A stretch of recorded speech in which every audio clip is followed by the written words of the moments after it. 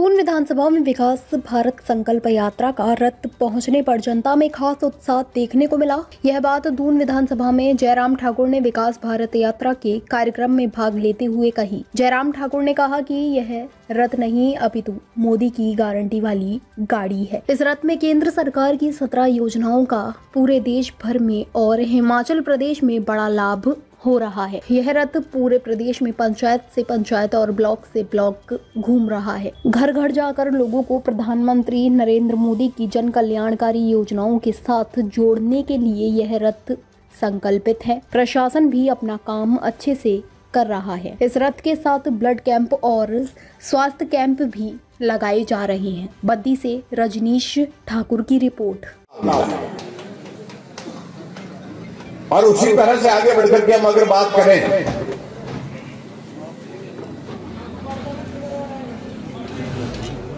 हर घर को नल मिलना चाहिए, ये भी एक योजना शुरू की।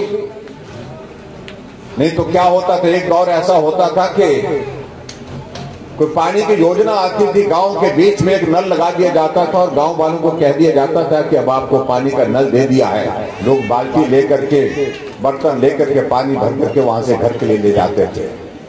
लेकिन देश के यशस्वी प्रधानमंत्री नरेंद्र मोदी जी ने अभियान शुरू किया कि हर घर में नल और नल में शुद्ध जल इसका प्रावधान होना चाहिए और पूरे देश भर में लगभग लगभग 12 करोड़ लोगों को कनेक्शन दिया गया, घर के अंदर कनेक्शन दिया पानी का, ये बहुत बड़ा एक अभियान जो है वो पूरा किया।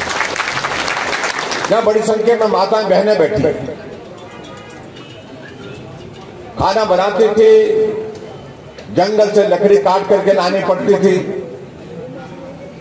पर्यावरण भी खराब होता था, लकड़ी उठा करके घर पहुंचानी पड़ती थी, फिर चूल्हे में जा करके खाना बनाया जाता था तो धुएँ से स्वास्थ्य पर कितना विपरीत प्रभाव पड़ता था। और हमारे देश के प्रधानमंत्री नरेंद्र मोदी जी ने इस बात को सोचा कि माताओं, बहनों का स्वास्थ्य भी ठीक रहना चाहिए, पर्यावरण भी ठीक रहना चाहिए। इसलिए हमें कोई योजना शुरू करनी चाहिए उनको राहत देने के लिए। तो योजना शुरू की गई, उज्ज्वला योजना शुरू की गई। और उस उज्ज्वला योजना के अंतर्गत पूरे देश भर में घर घर में गैस का चूल्हा पहुँचाया गया, गैस का चूल्हा दिया गया। की तीन सौ यूनिट बिजली के फ्री देंगे। साल बीत गया। एक यूनिट बिजली की फ्री नहीं थी। उल्टी बिजली की कीमतें बढ़ा वादा किया कि हम गोबर को भी दो रुपए किलो के हिसाब से खरीदेंगे। अब मुझे मालूम नहीं कि यहाँ पर बद्दी रोटी वाले में आए कि नहीं आए सुकू भाई। आएँगे तो भाई लेके जाना। साथ साथ। अभी छत्तीसगढ़ में सरकार थी, कांग्रेस पार्टी की। सैकड़ों, हज़ार करोड़ से ऊपर का घोटाला, गोबर घोटाला। और भाई अमित शाह जी ने कहा कि मैंने ज़िंदगी में बहुत सारे लोगों को ये खाते देखा, वो खाते देखा, लेकिन ये गोबर खाते खाने वाली पहली बात है ये हालात है। लेकिन सरकार उखाड़ करके फेंकी, यहाँ बोलते थे कि छत्तीसगढ़ मॉडल छत्तीसगढ़ मॉडल। अब मॉडल कहाँ चला गया?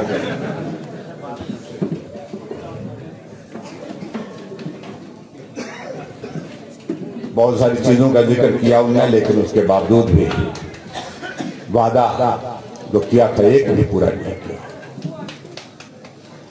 और इस दूर विधानसभा क्षेत्र में हम आए, जो मांगा गया, वो दिया गया। आपके यहाँ पर वीडियो का ऑफ़िस नहीं तो मुझे पहली बार मालूम पड़ा कि वीडियो का दफ्तर आपके यहाँ नहीं। आपके यहाँ पर एसडीएफ का दफ्तर नहीं था। हमने वीडियो का दफ्तर भी दिया और एसडीएम का भी दफ्तर दिया। और ऊपर जो कौन सा इलाका आपका चंडीगढ़ इलाका जो है, वहाँ पर कॉलेज की मांग थी, वो बड़ा पिछड़ा हुआ इलाका है, ग्रामीण क्षेत्र का इलाका, गाँव के बच्चों को पढ़ने के लिए कॉलेज थी तहसील भी, कुछ बचा उसमें से? कुछ पीडब्ल्यू का डिवीज़न दिया। वो भी वो भी, वो नया काम देखा हमने, सरकार की उपलब्धि। एक साल का जश्न मनाएँगे बोलते जश्न की इस बात का मनाएँगे। पंद्रह सौ संस्थान हमने हिमाचल प्रदेश में खोले थे, जैसे आपके वीडियो का दफ्तर खोला था एसडीएम का दफ्तर खोला था, कॉलेज खोला था, तहसील खोली थी, आपके इलाके के विकास के लिए खोला था, उन पर ताला लगा दिया। बंद कर दिया। गए पंद्रह सौ संस्थान पूरे हिमाचल प्रदेश और पहली बार हमने देखा कि हमने पहले कभी ऐसा दौर ही नहीं देखा। हाँ एक दो संस्थान किसी कारण से बंद होते थे।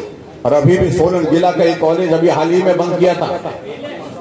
सपाटू का कॉलेज लोग मेरे पास आए, हमने कहा, कोर्ट में जाइए। कोर्ट में जाए, कोर्ट कोर्ट में जाकर के कोर्ट ने स्टे दे दिया। अब क्या रही भाव भाई सुखू जी कह रही ऐसे ही सारी चीज़ को लेकर के मुझे इतना ही कहना है।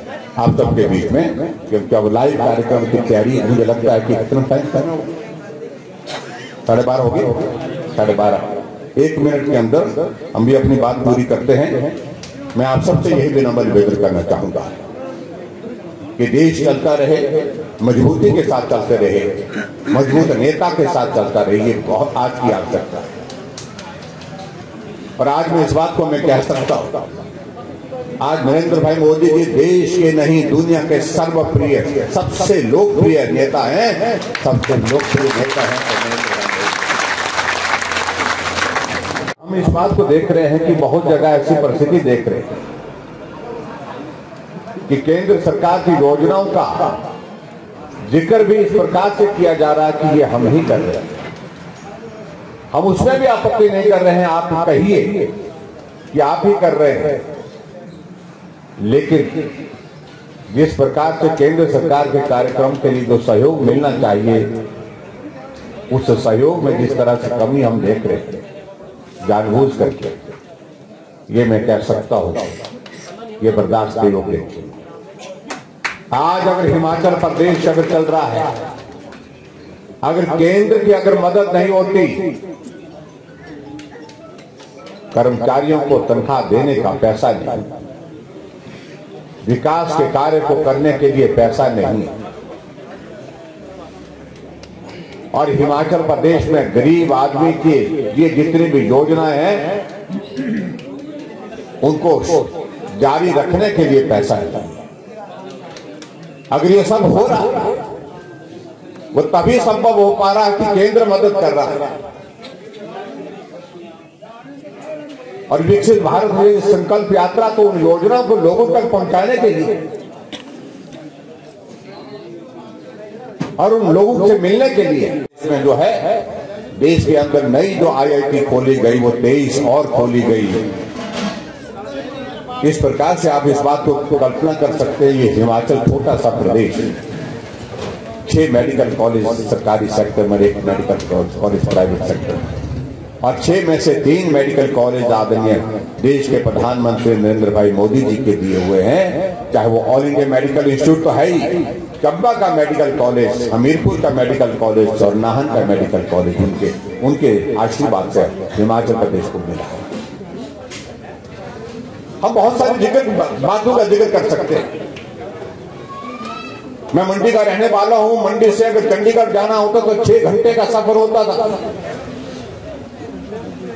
लेकिन अब मंडी से चंडीगढ़ की फोर लेन का काम पूरा हो गया तो ढाई घंटे में चंडीगढ़ पहुँचता छह घंटे की जगह ढाई घंटे में पहुँचता